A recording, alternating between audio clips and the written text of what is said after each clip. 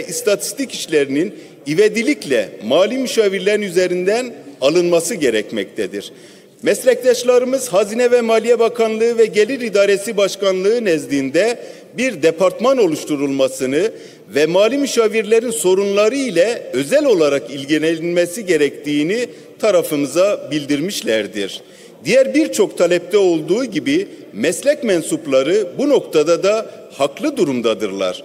Meslek mensuplarının yaşadığı sıkıntıları direkt olarak ilgili kuruma aktarması, zaman ve kaynak tasarrufu sağlayacaktır.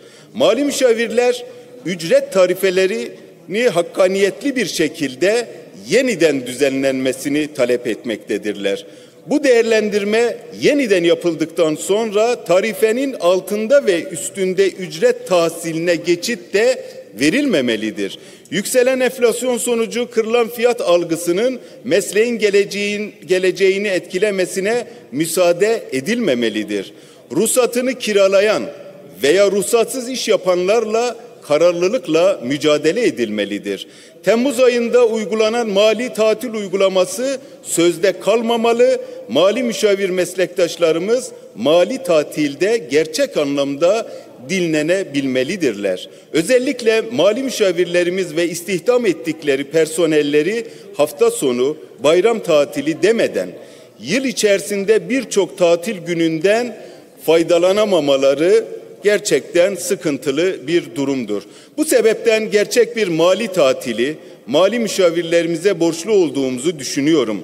Bu vesileyle meslektaşlarımızın sorunlarının halının altına süpürmekten vazgeçilmesini diliyor.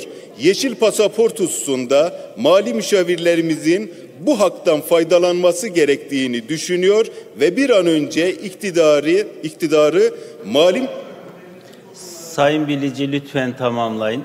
Ve bir an önce iktidarı mali müşavirlerimizin sorunlarına gerçek anlamda eğilmeye davet ediyor. Genel kurulu saygıyla selamlıyorum. Teşekkür ediyorum Sayın Bilici. Önergeyi oylarınıza sunuyorum. Kabul edenler, kabul etmeyenler önerge kabul edilmemiştir. Diğer önergeyi okutuyorum. Buyurun. Türkiye Büyük Millet Meclisi Başkanlığı'na görüşülmekte olan 92 sıra sayılı maden kanunu ile bazı kanunlarda değişiklik yapılmasına dair kanun teklifinin çerçeve 10. maddesiyle değiştirilmesi öngörülen 5627 sayılı Enerji Verimliliği Kanunu'nun 8. maddesinin 1. fıkrasının B bendinde geçen kriterler ibaresinin ölçütler biçiminde değiştirilmesini arz ve teklif ederiz. Müzeyyen Şevkin Adana Milletvekili, Naiçiler Kocaeli Milletvekili, Talat Dinçer Mersin Milletvekili, Türker Ateş Bolu Milletvekili, Veli Ağbaba Malatya Milletvekili. Komisyon önergeye katılıyor mu? Katılamıyoruz Sayın Başkan. Önergenin gerekçesini açıklamak üzere Malatya Milletvekili Veli Ağbaba'ya söz veriyorum. Sayın Ağbaba buyurun.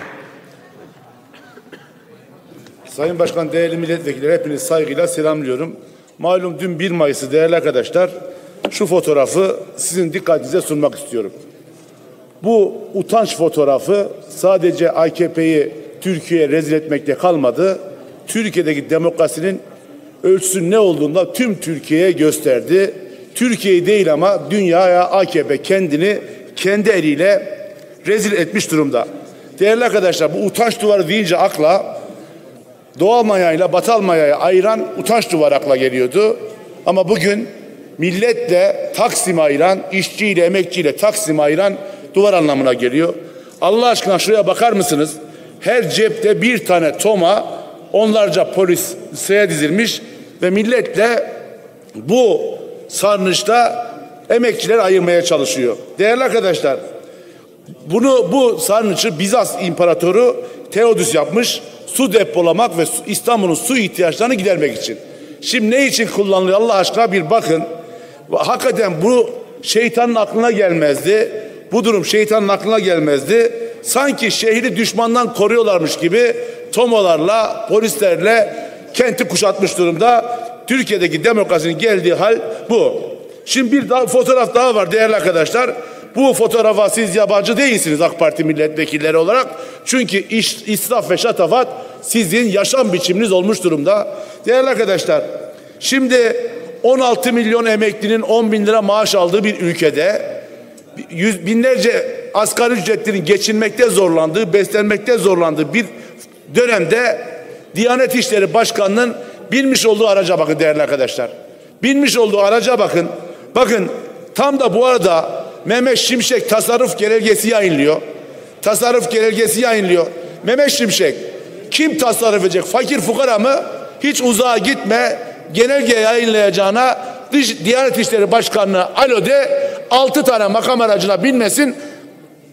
Bir, bir, bir tane makam aracına binsin. Ayrıca biliyorsunuz AK Parti Sayın Erbaş yerli ve milli. Ya yerli ve milliysen TOG'a binsene. TOG'a niye binmiyorsun? TOG'a niye binmiyorsun? Ayağın mı kirlenir? Ne olur? Ne özelliğin var senin? Değerli arkadaşlar bakın bu aracın bir günlük günlük kirası 25 bin TL. Yani bir emekli iki buçuk aylık maaşıyla bu arabaya binebiliyor. Bir asgari ücretli bir buçuk maaşıyla bir aylık bu, bu arabaya binebiliyor. Ya insanda vicdan olur, ahlak olur. Başka değerli arkadaşlar Allah bunları ıslah etsin. Allah bunlara vicdan versin. AK Parti iktidarı şatafet ve israf iktidarı.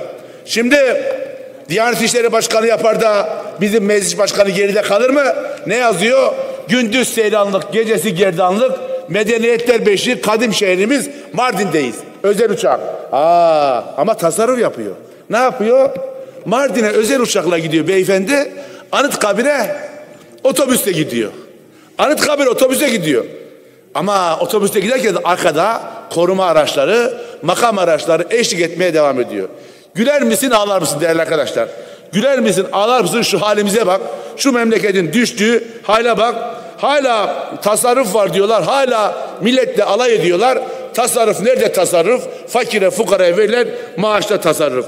Bakın dünyanın en çok makam aracına sahip ülkeyiz. Hala o konumuzu korumaya devam ediyoruz. Değerli arkadaşlar, değerli arkadaşlar bir başka mesele de biliyorsunuz Malatya, Adıyaman'ın en önemli geçim kaynağı tütün. Adıyaman'daki seçim sonuçlarını biliyorsunuz.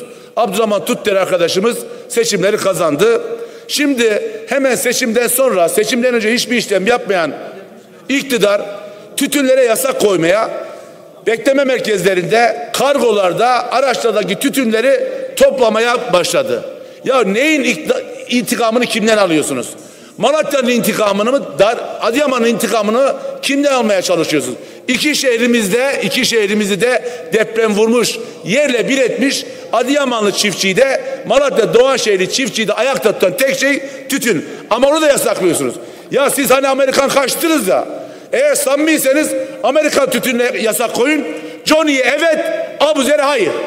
Bunu yüzünüze vurmaya devam edeceğim.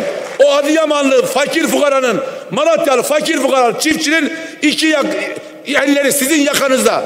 Bu yüzünüzü, bu yaptıklarınızı Türkiye'ye duyurmaya devam edeceğiz.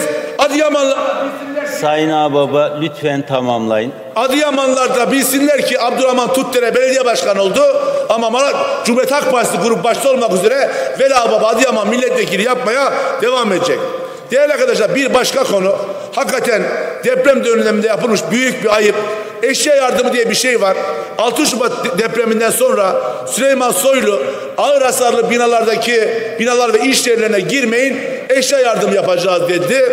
Ve insanlar o depremin acı günlerinde vergi dairelerine uzunca kuyruklara girerek sabah erken saatlerinden itibaren kuyruğa girerek eşya yardımı ile ilgili beyanda bulundular.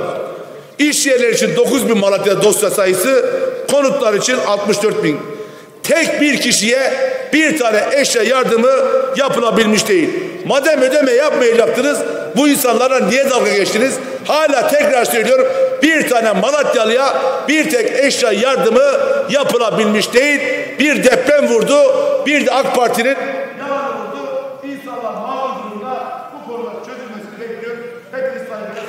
Teşekkür ediyorum Sayın Ağbaba. Önergeyi oylarınıza sunuyorum. Kabul edenler, kabul etmeyenler önerge kabul edilmemiştir.